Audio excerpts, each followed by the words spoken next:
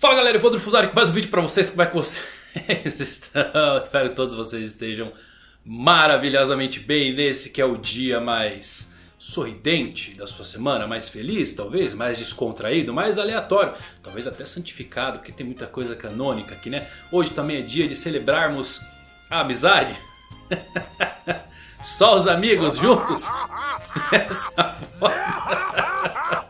Esse é o SBS, meus amigos. Perguntas enviadas por vocês, respondidas por eu que não tem muito gabarito. E quer participar? Tem uma condição só. É votar no Mangão pro Prêmio Best. Sim, de novo eu tô pedindo voto aqui pra você. Só que agora é pra final. Tá eu, Gaveta e o Peter do Ei Nerd. Só os monstros aí e o Mangake lá no meio. Então, se você gostar aqui do canal, gostar dos vídeos...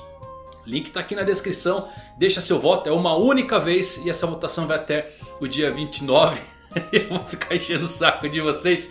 Deixa o votinho aí no nome de São Canelas. Já aproveita que logo abaixo tá os links para você deixar sua perguntinha. Recado dado, vamos tirar tudo sobre essas dúvidas duvidosas. Rafael Marcos, quais as chances do Vegapunk replicar a Opi Opi no Mi? É uma paramécia e o Lau era um Chichibukai, preenche os requisitos Agora você bugou a mente, hein, cara?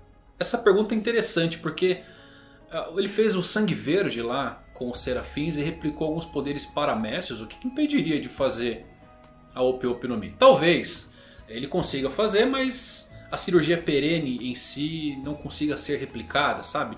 Falte alguma coisa, talvez, para funcionar a cirurgia. Por isso que ele não ofereceu ao governo mundial, ou o próprio governo mundial não pediu a ele.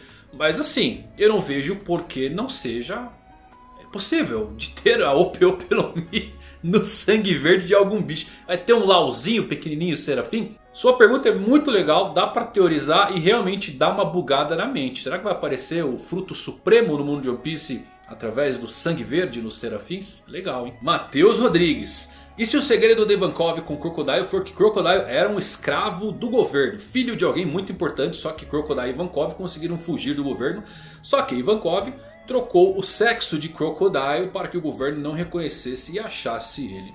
Ô Matheus, eu acho que o Crocodile vai estar sim em God Valley e o segredo dele, que ele quer tanto esconder, vai estar ligado diretamente a isso. Eu gostei da solução que você deu aqui, é uma pergunta interessante, né? De por que o Crocodile ele mudaria o seu sexo? Porque antigamente tinha essa teoria, por mais engraçada que ela seja, de Croco ser uma mulher que acabou alterando o seu sexo. Essa teoria ela funcionava porque talvez ele queria entrar para o bando do Barba Branca. É muito antigo isso.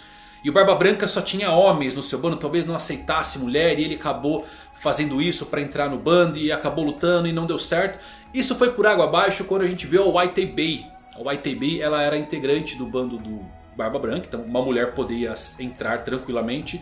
Também quebra um pouco aquela coisa de ele não gostava de ser mulher e quer ser um homem para ter uma aparência forte. Pô, tem Big Mom, tem Catarina Devon, tem a própria White Bay, tem bastante mulher é, forte, não tantas, né? O Oda não desenvolve tanto. Mas também, sim, não serve para responder uma mudança de sexo pro Crocodile. Agora essa coisa de talvez esconder o seu passado, né? Isso é interessante porque marca dos nobres mundiais geralmente as pessoas não gostam de falar, eles escondem. Hancock, o Fisher Tiger que cobriu com o sol, não é verdade? Crocodile pode ter essa mesma marquinha. É uma possibilidade muito real que esteja ligada a isso. Ele é de God Valley, pode ser filho do rei que foi morto, ou pode ser um escravo que já estava lá. E para esconder todo esse segredo, Ivankov ajudou em sua fuga. Por isso que ele não gosta muito que seja revelado. Né? Descobrir que foi ajudado por alguém, Crocodile, não, ele logo vai ser o próximo rei dos piratas. Leandro Cajado, sempre comentam das três raças que faltam a Big Mom. Quais seriam as raças? Gigantes, Bucaneiros e o outro? Bom, o outro é Lunarium, esse está confirmadíssimo. Gigantes também. Agora, Bucaneiro eu tenho minhas dúvidas. Porque ao que parece um bucaneiro tem sangue gigante, logo é um híbrido. E tem híbridos de gigantes com homens peixes chamados Wotans. A gente tem também os gigantes malignos da raça do Ors, que eu acho que não entra nisso. Então talvez a Big Mom não estivesse atrás desses híbridos, como os bucaneiros. Isso se eles forem mesmo, tá bom? Tem que explicar um pouquinho mais. Pode acabar entrando alguma outra raça que a gente não conhece, mas... Lunários e gigantes é certeza que falta. Bucaneiro pode preencher agora, dependendo de como que o Oda explica um pouquinho disso. O fato de ter sangue gigante, parece ser uma mescla entre humano e gigante, deixa a gente com um pé atrás aí se é a raça faltante para Big Mom ou não. William Tempe, esses dias me ocorreu o seguinte, se o homem marcado pelas queimaduras for na verdade a Lady Toki, pois quando ela morreu em um ano, ela estava rodeada por chamas e somente presume ser o homem porque nunca ninguém viu sua identidade. Mas como é que... Se ninguém nunca viu sua identidade, como é que eles chamam de homem marcado? Alguém já viu. O Kid já não sabia dessa figura? Eu acho que eles já sabem que é um homem sim, tá bom? Eu não creio que ela editou que tenha capacidades para navegar aí um navio. É a mesma coisa do Oden. O Oden, ele não sabia navegar, lembra? Ele tentou sair de Wano ali, quase morreu afogado. Não acho que pode ser. Sabe quem que, que eu acho me veio na cabeça esses tempos aí? Esse personagem, ele apareceu... Vocês nem devem lembrar dele, nem devem. Apareceu lá no Baratier. Essa figura de olhos vermelhos que acabou se queimando quando estava bêbado.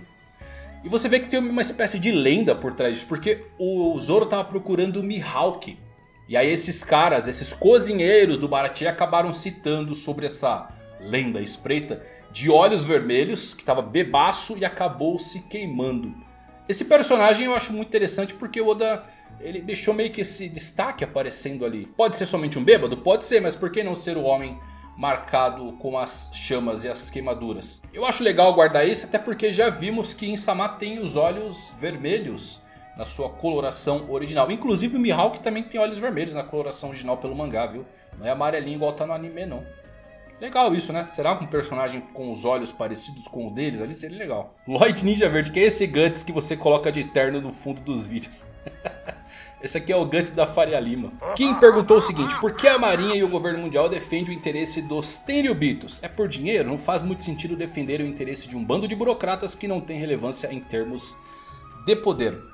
Isso é uma coisa que foi acertada há 800 anos atrás. Não que para Insama essas pessoas tenham qualquer relevância. San Charles, não, ele não liga.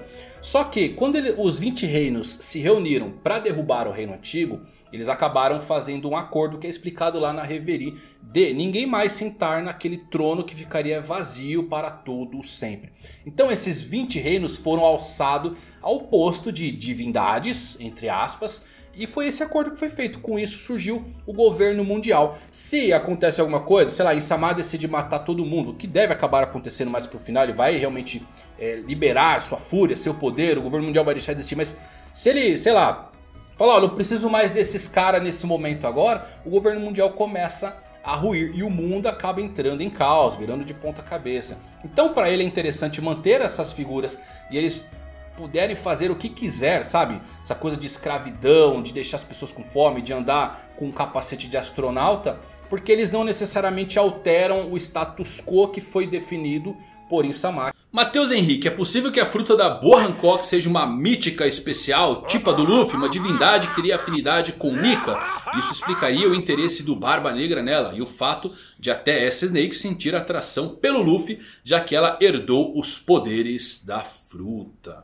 Olha Matheus, vou ser sincero pra você, eu acho que o plot de mudança de nome de Akuma no Mi com o Luffy já é suficiente. Se o Oda começar a fazer isso com outros personagens não sei se eu vou gostar bastante. Eu tenho algumas críticas que eu fui tecendo ao longo do arco de Wano com diversas coisas em relação ao Luffy. Dele ser tudo, né? Ele vai ser Rei Pirata, ele vai ser Joy Boy, agora ele é Nika Deus do Sol, ele é o herdeiro da vontade. Toda aquela coisa de perde-se um pouco a liberdade que o Luffy tanto quer se ele é um herdeiro disso. Mas fui me acostumando com o tempo, entendendo um pouquinho mais como Oda veio trabalhando isso. Beleza, Continua. Agora ele usar esse plot para outro personagem. De olha essa fruta aqui não é uma paramécio, não é uma logia. Não, enganei vocês por 25 anos. Na verdade ela é uma zoan.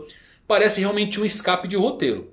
Tá bom? Eu espero que ele não faça isso. Coloca um personagem novo que tenha a demônia da fruta. Por que, que ele esconder da boa Hancock também?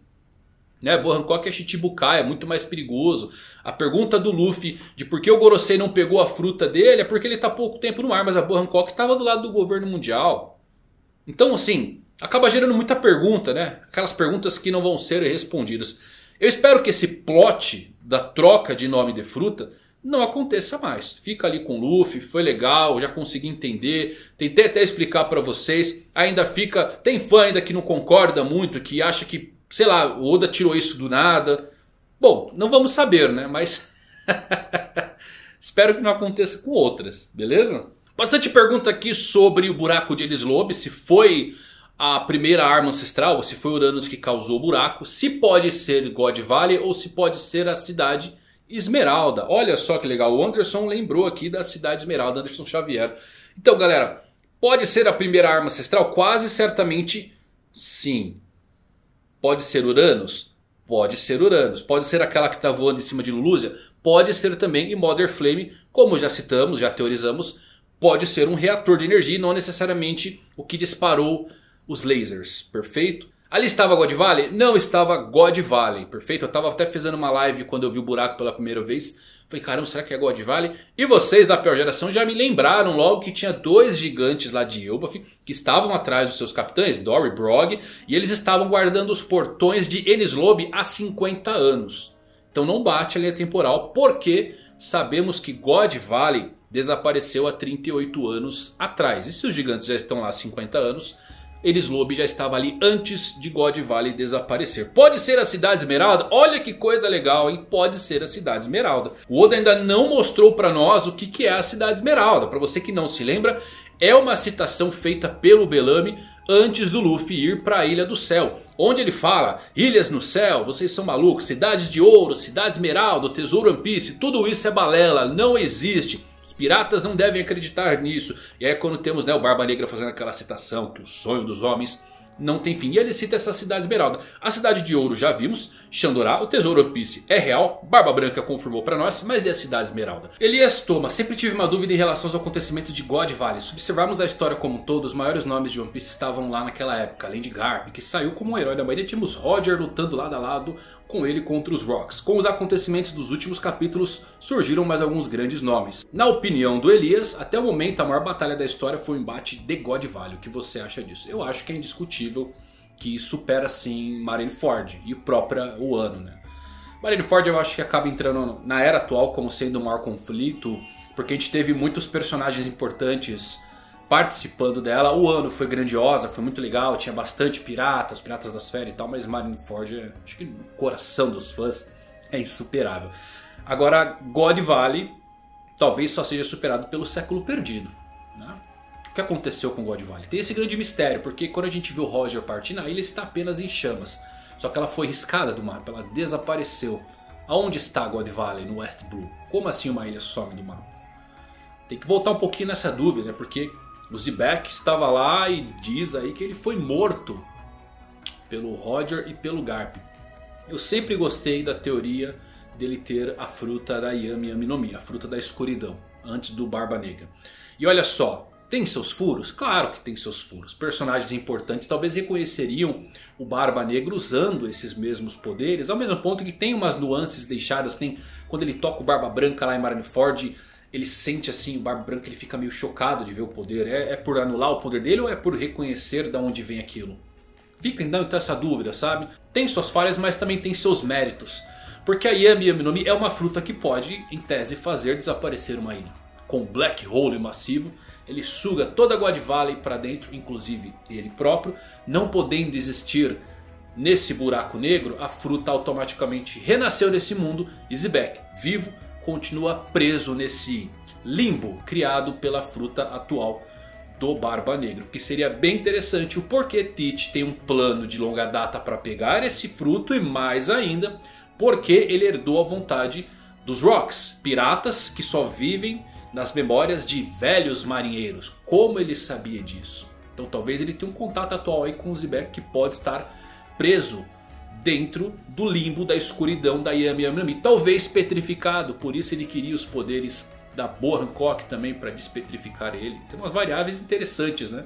Então eu acho que pode acabar sendo sim a fruta do Zebek. Ao mesmo ponto também pode ser um cara durão como o Roger, que não tinha qualquer tipo de fruta. E eu gosto bastante desses personagens, de Shanks, o Roger, o Ray Lee.